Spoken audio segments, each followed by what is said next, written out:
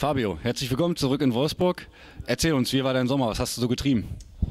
Ja, ich war zehn Tage in Miami in Urlaub, war super schön, also kann man sich nicht beschweren. Ich war noch eine Woche bei meinen Eltern in Landshut, hab die besucht und äh, war aber die meiste Zeit in Wolfsburg.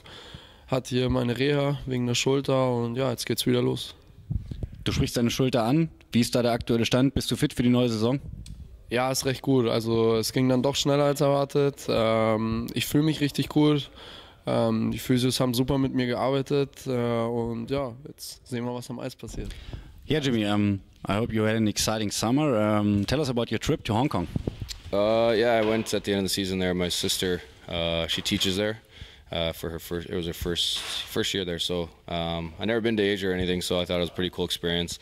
Um, it's kind of like New York City, but it's a lot tighter. But it's crazy that it's like on, I never knew that it was like on an island and in the mountains, and it's a really cool experience, cool to see, and um, I would definitely go back there. Now you're back here. How about your shape?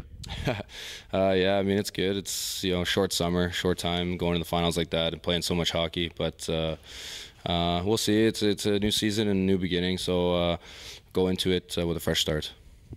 Thanks, Jimmy.